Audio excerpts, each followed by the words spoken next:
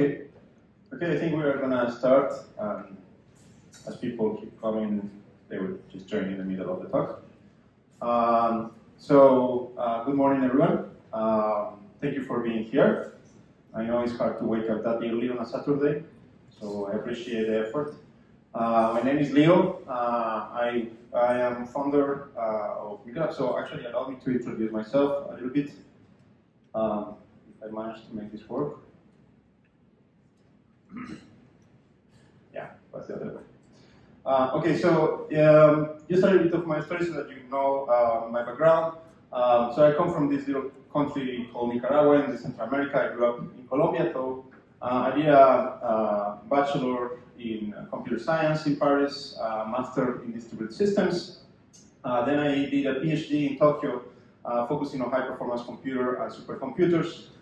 Uh, I, did, I was there for four years, and then I got a postdoc uh, position at the Argonne National Laboratory, which belongs to the Department of Energy of the United States uh, in Chicago. I worked in uh, scientific computing and resilience for high-performance computing for three years. Then I moved to the Barcelona Supercomputing Center, which I happen to have a colleague here, ex-colleague. Um, I worked there for six years uh, as a senior researcher. Uh, then I moved as a researcher uh, at the Codex team in Status, and uh, now I'm the founder of Labs, and I also maintain the uh, uh, research position with Status. so I started doing research in blockchain technology in 2018. I contacted the Ethereum Foundation because they were working on scalability, and since I was working with supercomputers and high-performance computers, I, computers, I thought maybe there's something I can contribute there. And so they said, yeah, sure, come. Uh, then they had a, they planned a meeting in Taipei um, uh, in March of 2018. And uh, that was kind of the beginning of Ethereum 2, what at the moment was called Ethereum 2, now it's forbidden to call it Ethereum 2. But basically, the idea was to uh, implement scalability and sustainability in Ethereum. Sustainability meaning proof of stake, and scalability sharding. And so there is this uh, large amount of people there quite a number of uh, famous faces there, and not so famous, uh, like me. Uh, and but it was like a great opportunity to start working with all these people, and uh, since then I have been collaborating for, with them for over five years. And so what I'm going to present here today is more or less the trajectory of you know all this research going on from 2018, 2020 up to today. So um, let's start by the genesis. Uh, so the beginning of the Beacon chain uh, that started to be prototyped or kind of put in a concrete specification in 2020.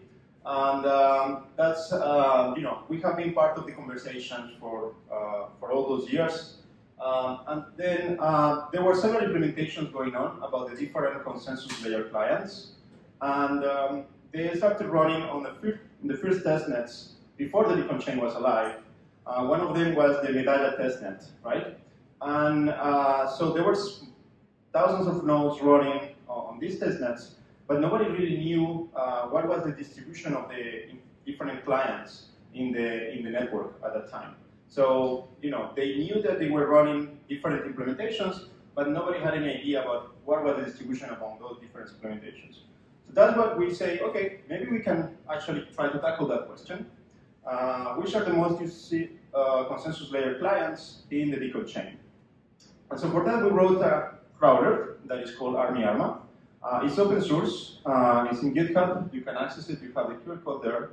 And uh, we also published uh, an article at the BCCA conference in 2021 in Tartu, Estonia, and uh, basically, we published the results of our study about the distribution of clients and all the other things that we discovered with this, uh, with this uh, crawler.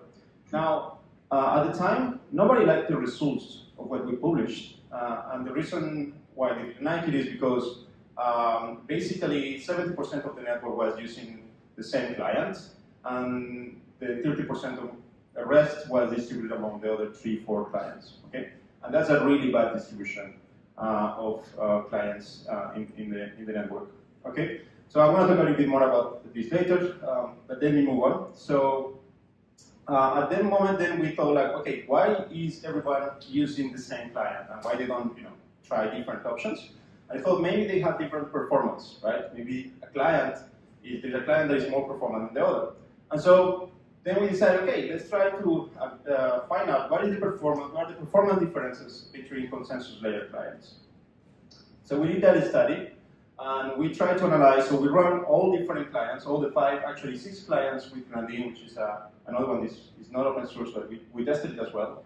And we monitor um, the execution of these clients, uh, both in terms of CPU usage, disk usage, memory usage, network bandwidth, uh, number of peers they are connected with, and different configurations, in different types of hardware. We tested on a normal hardware, we also tested on a like big fat node uh, with a lot of memory, a lot of CPU, etc. We also tested on Raspberry Pis, etc., uh, etc. I'm not going to present all that because uh, that would be an entire talk. Um, but if you want to look at those results, uh, you can access the, this paper here, uh, which was published at the Brains conference in Paris, uh, and uh, you have the QR code there.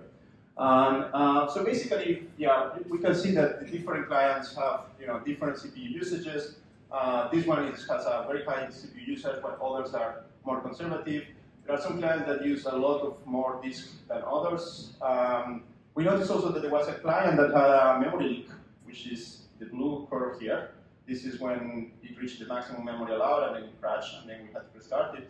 Uh, we communicate all these findings, of course, to the, to the developers of the different clients and they fix this, uh, this memory leak.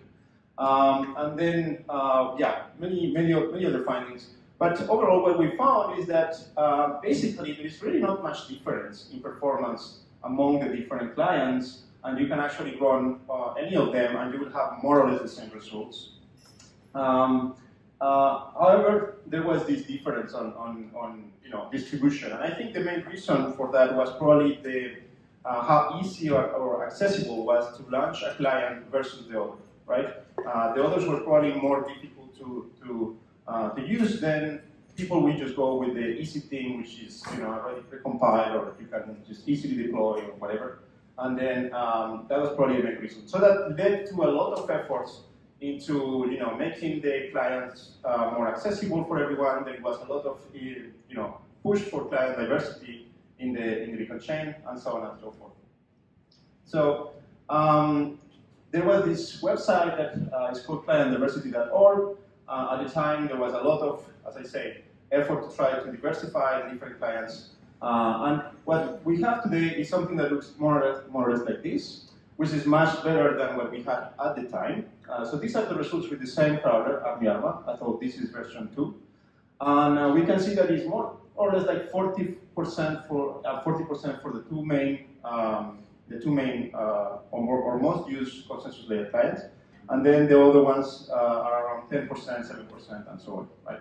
Uh, by the way, this website, clientdiversity.org, um, uh, actually shows the uh, distribution of different clients in real time, and they also take uh, data from, from us, from Miga Labs, uh, that we provide through an API to them uh, in real time.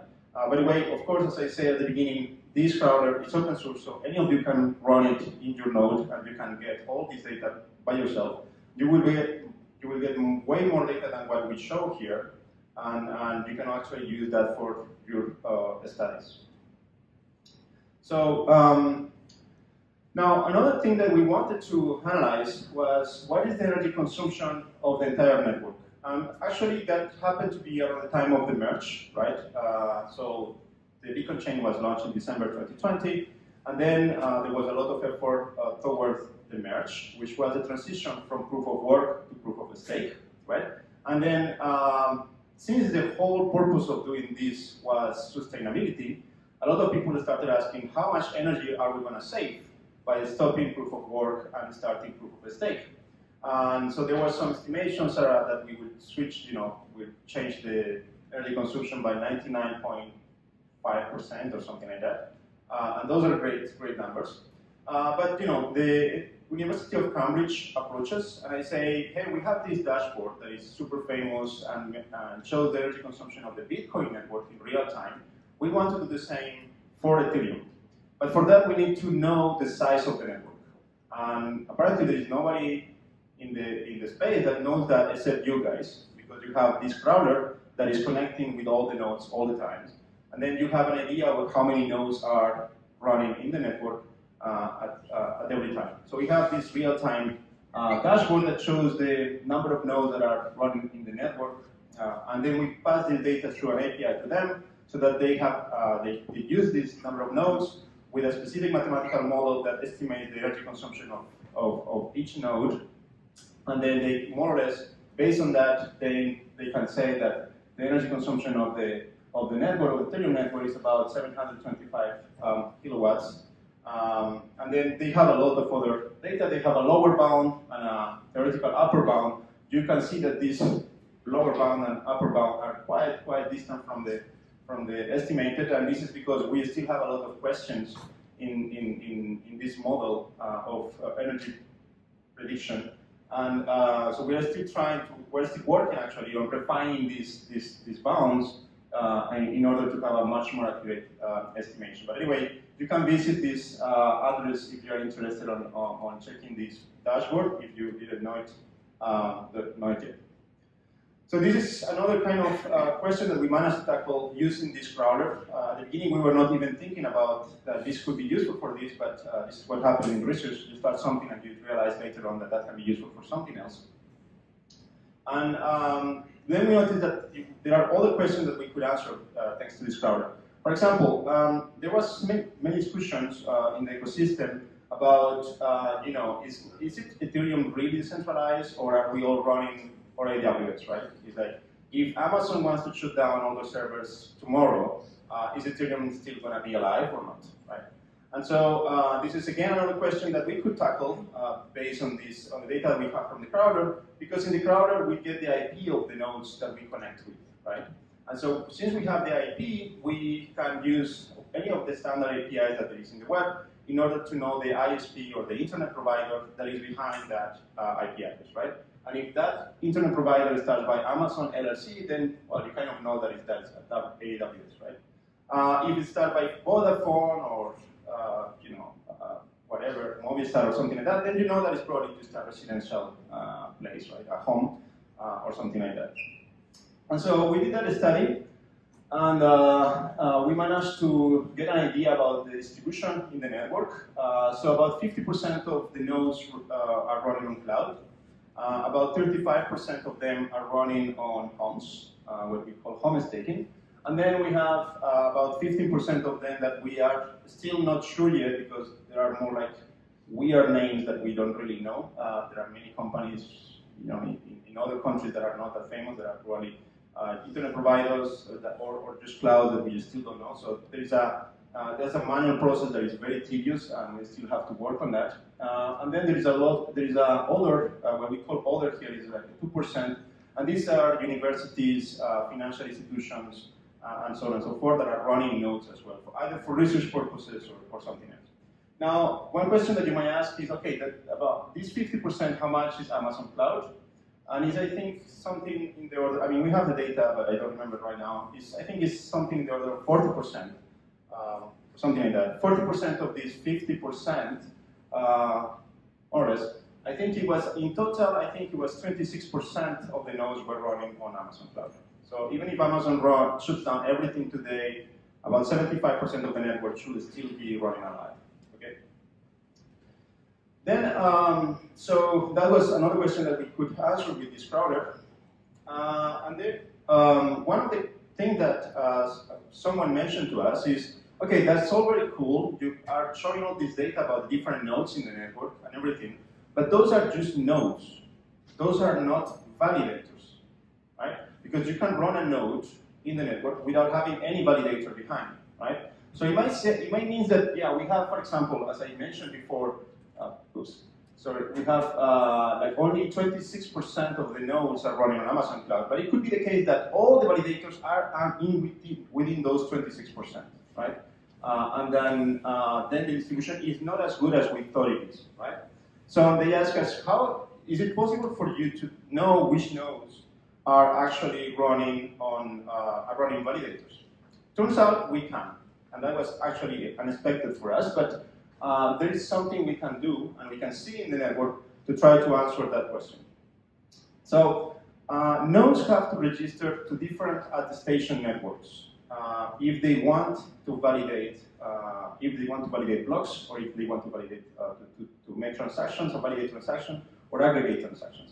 Basically, if you are running a validator, you have to subscribe to at least one attestation network. There are multiple subnetworks in, in the Ethereum network. There are five main networks, which one? One is to distribute blocks, another one is to distribute slashings, another one is to distribute, don't remember exactly what, but there were five of those. And then we have 64 that are for uh, distributed attestations, right? And if you're a validator, you have to subscribe to at least one of those attestation networks, and you have to say this to your peers when you connect to them. Okay, when you connect, for example, if I connect to you, I have to tell you, okay, this is my address, this is, I mean, this is what uh, the information I have uh, from me, and I am subscribing to this attestation network. So everything that you see in that attestation network, please send it to me because I'm interested in that, right? So uh, based on that, actually we can have a distribution that looks more like this, and we can see, and we can see, you know, uh, for a specific node, how many attestation networks they are subscribed to. If the attestation network is subscribed to zero, sorry, if the node is, is subscribed to zero attestation networks, that means there is no validators behind that node.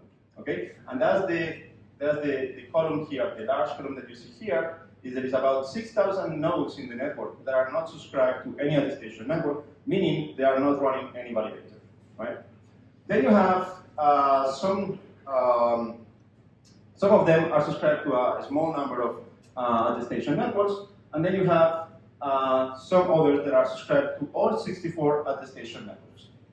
64 is the limit, so even if you are running 100 validators in, in one node, you will still subscribe to only 64 attestation networks because that's the maximum there is.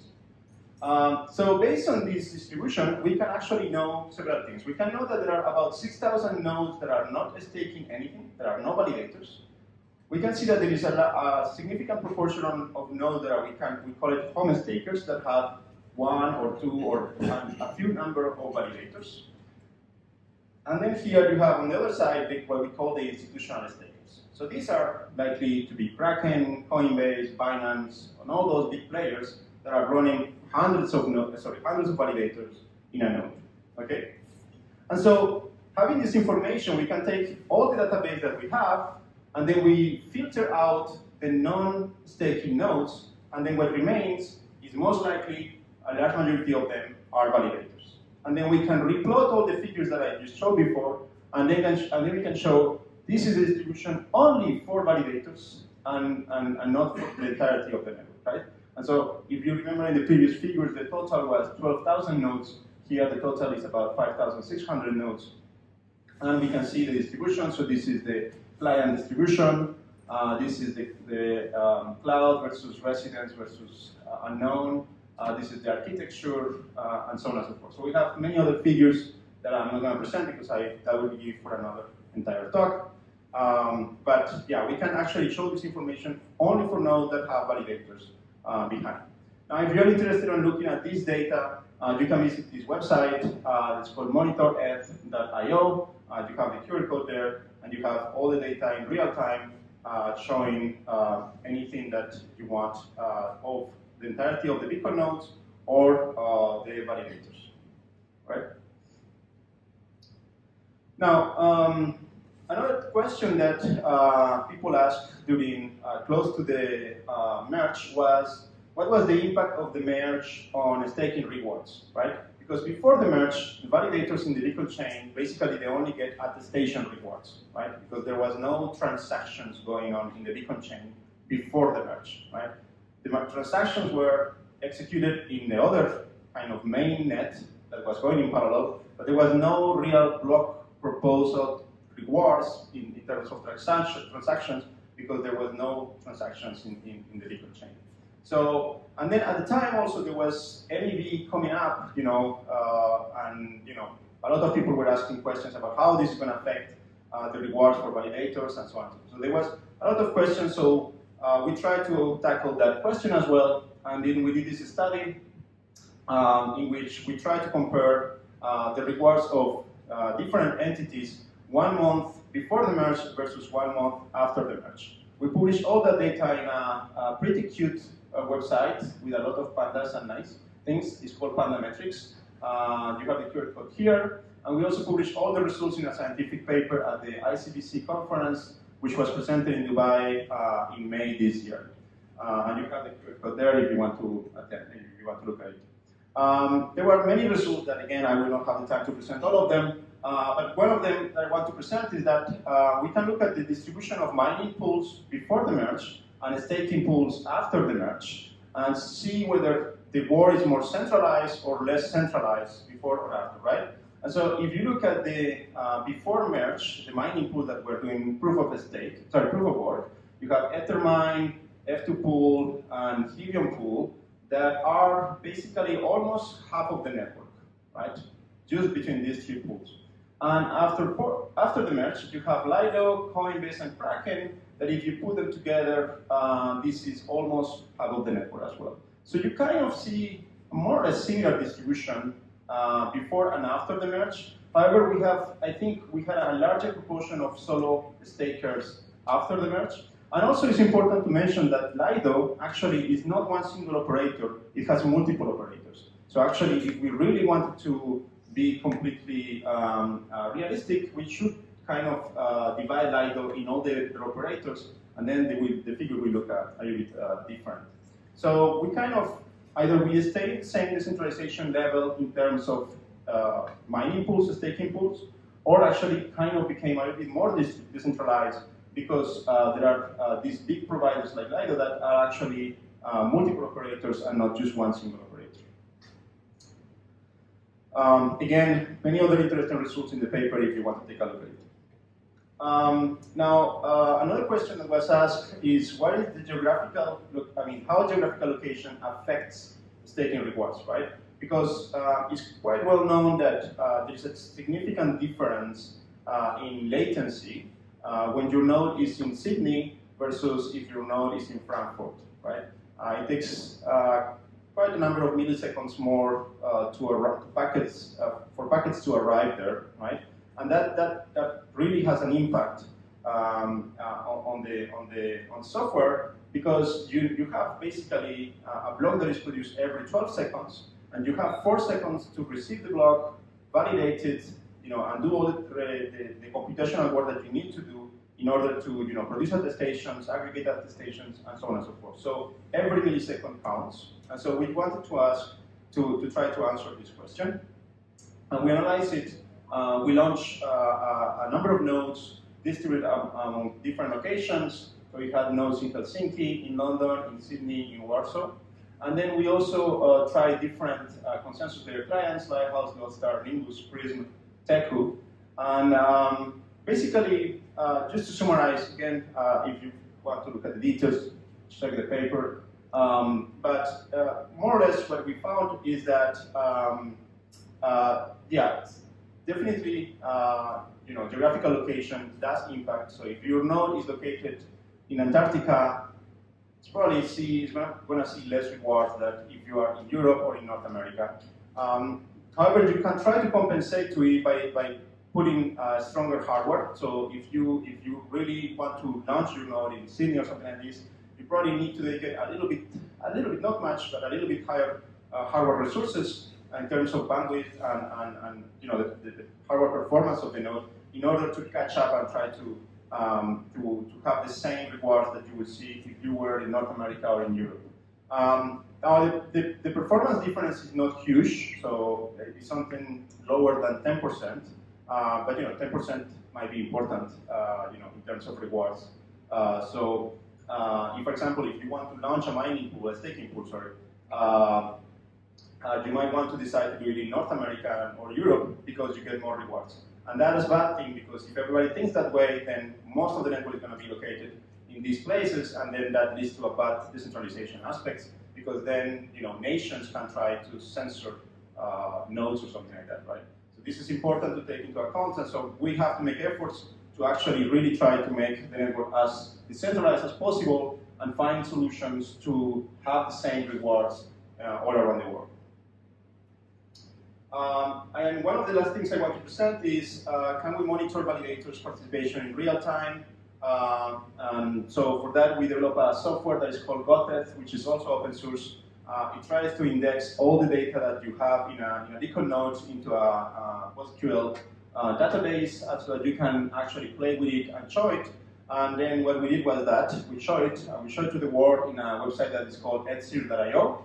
Uh, you have the link here if you want to access it. Uh, it's a real-time uh, block explorer that shows the blocks as they are producing real time. And you actually can see what entity produced each block. For example, I think this one, this is Coinbase, this is Coinbase, this is Kraken, this is Rocket Pool, etc., etc. You can see which entity produced each, uh, each block. And you can click in the block and see all the details. Uh, you also have uh, summaries about each epoch, how much uh, participation was it, how many attestations were correct or missed, how many blocks were missed, etc., etc. There is a bunch of information there uh, that you can access, access if you're interested. Um, and then one of the last things that uh, we have been uh, working on was uh, distributed validator technology. So this was Obol who contacted us and asked us, hey guys, can you make a study about our software? Can you compare whether uh, distributed validator technology has the same performance as non-distributed validator technology. So if you're not aware of what is distributed validator technology, basically instead of running one node, you run four nodes in different locations, and if one uh, uh, has a failure, the other three can keep going, can keep going, and so you don't lose rewards because of that, right? Uh, but the problem is, if you have four nodes, they actually have to achieve consensus before actually sending any block or any attestation, and so that is, you know, there's a latency uh, behind that is important to take into account. So we did a, study, we published uh, a, a blog post uh, with an entire report the report is here, you can access it. Uh, again, many interesting results. Uh, I'm just to show this one that uh, shows the, um, the rewards uh, versus the maximum uh, reward that they could achieve uh, for different clusters. So we have five nodes, A, B, C, and D, and E, which are non-distributed validator technology, so non-DVT. And then we have three clusters belong to Obol, that have uh, distributed validator technology, and these are clusters of 4 nodes, 7 nodes, and 10 nodes. And please notice that when we are launching 10 nodes, they are all distributed around the entire world. So we have, for the 10 node cluster, we had a node in Sydney, Bangalore, Singapore, San Francisco, London, Amsterdam. So it's really a cluster that is completely distributed around the entire globe, and they act as if it was only one single node in the network to take every decision. And you see that the difference is actually not much. Uh, here, the non-DVT uh, nodes get about 92.1% of rewards, and Obol get about 91.7 in terms of rewards. So it's really a minuscule difference, less, less than 0.5%. Uh, uh, so which is a really, really great uh, score for the for the Obol guys. I mean, for not for distributed validator technology in general. So with that, I think uh, this is the end of my talk. I just want to finish by saying a big thank you to all of our collaborators. So we have received funding from the Ethereum Foundation, from Lido, from Obol, from Attestant, from Protocol Labs. Uh, we have collaboration with uh, yeah, Cambridge University, Status, DAppNode, Gnosis, and Alpha. And uh, of course, all this work that I have presented is not my work. It's, a, it's the work of a group of people that have been working really, really hard behind. So I want to say a big thank you to them because uh, they are the ones that are behind all this that I have presented here. So a big kudos to them. And with that said, thank you very much for your attention, and thank you.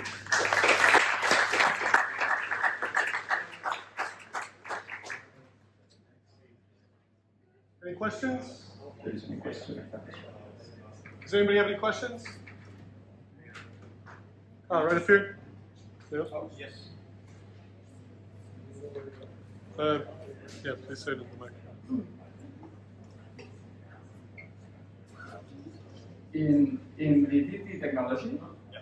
how do you decide where the nodes are located? Yeah, uh, what we try to do is to make them uh, to make it as hard as possible for them.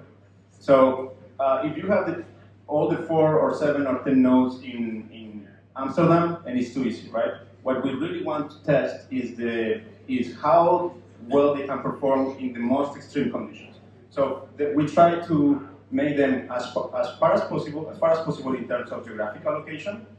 So in different countries, in different continents, and basically we just try to get nodes where the providers, the cloud provider that we were using had locations.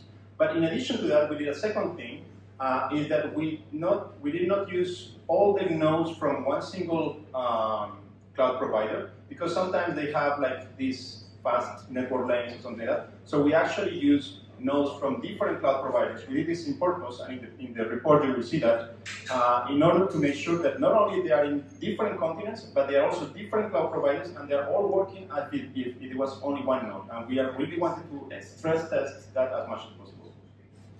Thank you. Any other questions? All right, thanks, guys. Thank you, Larry.